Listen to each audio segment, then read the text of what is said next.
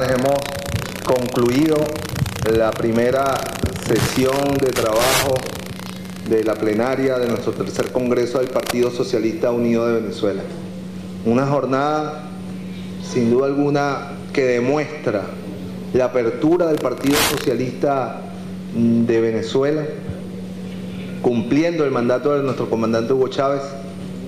que en las cinco líneas de acción política que en el año 2010 escribió para el debate interno de nuestro partido, una de las grandes tareas que nos ponía era que el Partido Socialista tenía que trascender su carácter de maquinaria electoral y convertirse en un partido que acompañara las luchas del pueblo, en un partido que librara junto a nuestro pueblo y sus expresiones sociales, mujeres, campesinos, indígenas, jóvenes, trabajadores y toda la diversidad que comprende la sociedad venezolana actual y que supone y soporta lo que ha sido la base política y social de la revolución bolivariana durante estos 15 años. Hemos escuchado planteamiento de cinco grandes frentes que componen ese gran espectro que se aglutina en torno al gran polo patriótico Simón Bolívar. Hemos escuchado el movimiento de las mujeres, a la juventud del Partido Socialista Unido de Venezuela, a la Central de Trabajadores del Campo y de la Ciudad, la Central Bolivariana Socialista de Trabajadores del Campo y la Ciudad, al Frente Francisco de Miranda, al movimiento de los comunicadores populares, al movimiento de los comuneros que están empeñados en cumplir el mandato del comandante Hugo Chávez de Comuna Onada. Todos estos movimientos, todo este pueblo que libró una larga batalla durante el siglo XX por defender sus derechos y especialmente en la última década del 90 cuando se intentó definitivamente en esa fase superior y perversa del capitalismo que fue el modelo neoliberal conculcarle todos sus derechos, resistió, resistió en la calle, resistió en los centros fabriles, resistió en los barrios, resistieron los indígenas en sus tierras, hasta que consiguieron al comandante Hugo Chávez en ese camino de resistencia.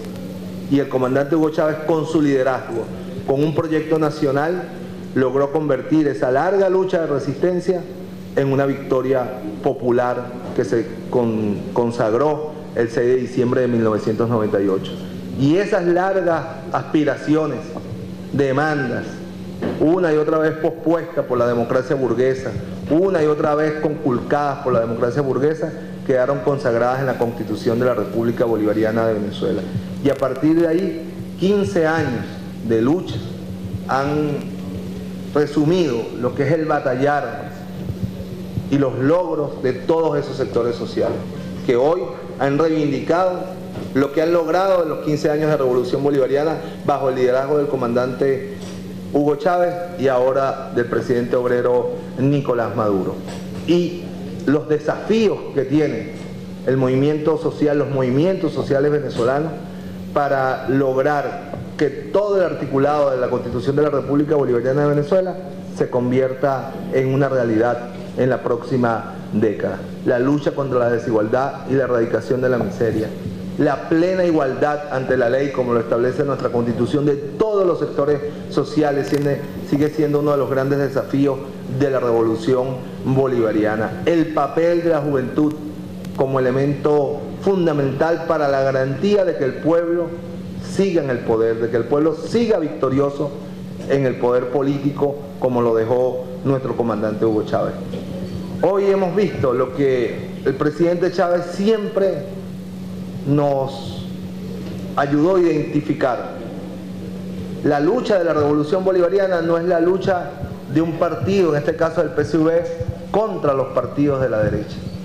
La lucha de la revolución bolivariana es la lucha de todo un pueblo históricamente excluido, que ahora es protagonista de esta nueva historia de la patria contra la burguesía que históricamente lo explotó y lo excluyó. Eso es lo central del nuevo tiempo del nuevo tiempo de la historia venezolana. El pueblo está en el poder, no es un partido el que está en el poder. Es el pueblo el que está en el poder y por eso más nunca puede irse del poder. El pueblo no puede, después de tanto batallar, 200 años después, permitir que por los errores, por las ineficacias, en un escenario improbable, la burguesía vuelva a retomar el poder, porque ya sabemos lo que pasa cuando la burguesía retoma el poder después que el pueblo logró ejercerlo por un tiempo. Por eso la gran tarea de los movimientos sociales y con su partido, el Partido Socialista Unido de Venezuela, es garantizar la continuidad del poder del pueblo en el gobierno para seguir haciendo revolución. Es el balance que hoy podemos presentar de esta bonita jornada donde hemos escuchado a, a los cuadros que se han forjado a la luz de esta batalla, de esta larga batalla antes de la revolución y durante los 15 años de la revolución bolivariana. Muchas gracias.